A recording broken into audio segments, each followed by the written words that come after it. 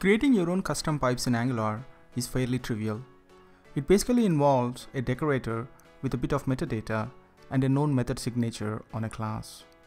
We have seen pipes that transforms our strings into uppercase and lowercase. Now let's create a custom pipe that capitalizes just the first character of a string, just like the title case. Let's start by creating a new file for our pipe.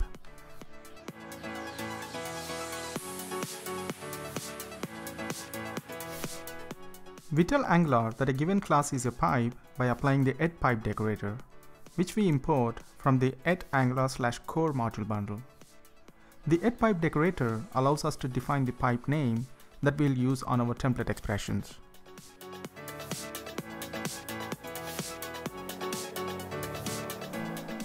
Let's now give a name to our pipe using the pipe decorator.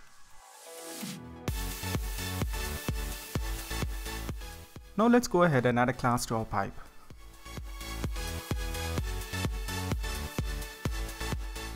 We also want to import the pipe transform interface so we can make use of its transform method to transform the value that our pipe is used on.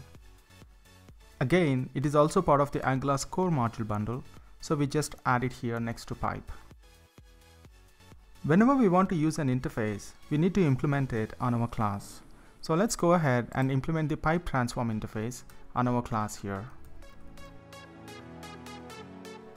Now that we have imported pipe transform and implemented it on our class signature, now let's go ahead and use the transform method of the pipe transform interface that accepts an input value followed by optional parameters.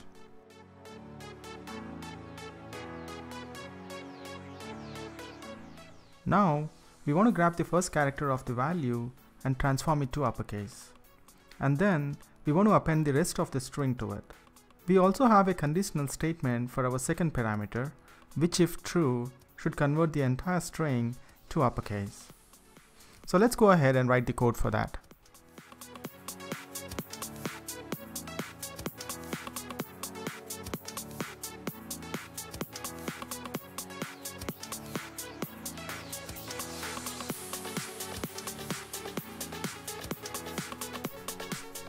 Let's take a moment to understand what we are doing here. So from the value, we are trying to grab the first character using the charAt method of JavaScript. And then we are transforming it into uppercase. Next, we are making use of the slice method to get the rest of the string and attach it to the initial character. And for the second parameter, if it is true, then we want to transform the value to uppercase. And then we are returning the value back. Now that we have created our custom pipe, we need to add it to the declarations array of the app module in order to make it available throughout the module. So let's go ahead and do it.